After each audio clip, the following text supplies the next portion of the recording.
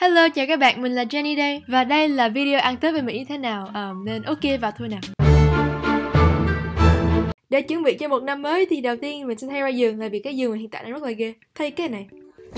Và nó nhìn cũng ổn hơn Tiếp theo thì mình sẽ cọ cái toilet trời ơi Yêu Xong rồi hút bụi nữa Oh hello Xong rồi mình đắp mặt nạ để cho nó thoáng cái mặt um, Và ở đây là đang có một cái gì đó Tết ok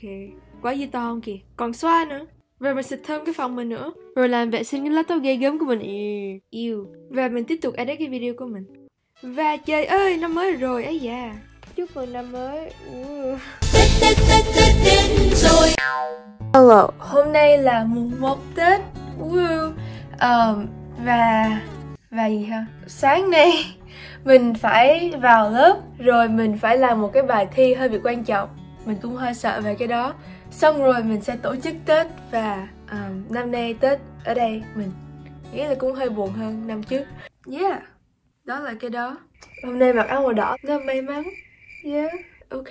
bây giờ mình sẽ xuống nhà ăn và sáng nay mình ăn xôi gấc là một món cũng khá là tết mình nghĩ là hai năm rồi chưa ăn món này nên cũng khá là bất thường bây giờ mình ăn nó thôi um. thì nó cũng ngon nhưng mình thấy việt nam nó ngon hơn nhiều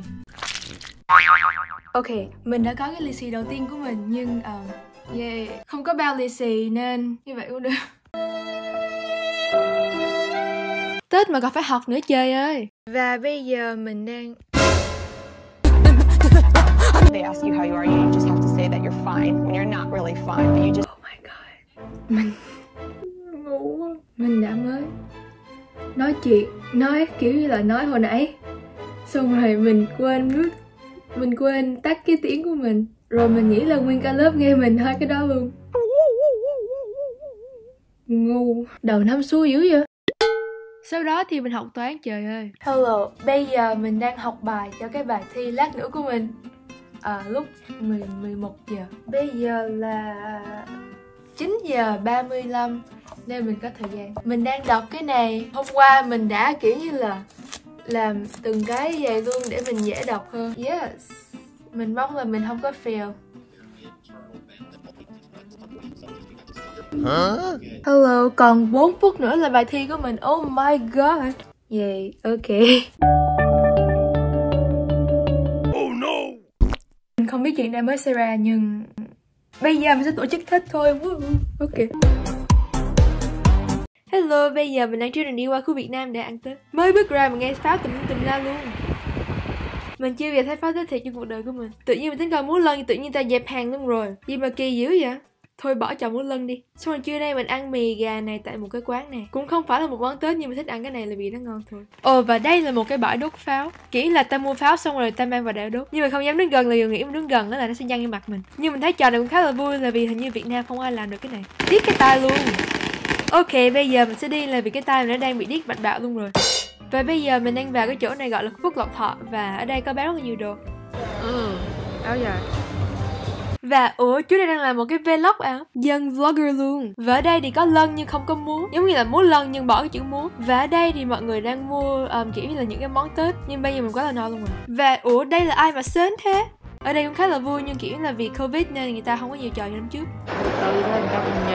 và mình đã tìm thấy con chó mặc áo dài nữa quá là ngon và trên đây thì mọi người đang mua quá dài quá trời luôn Và đây thì ba ca đóng ba lì xì luôn à, Mình sẽ mua một cái là vì mẹ mình cần Mình nên mua cái này hay là cái tiền vô như nước Mình cần vậy Hay là cái chúc mừng năm mới con bò này Hmm ok mình sẽ lấy cái này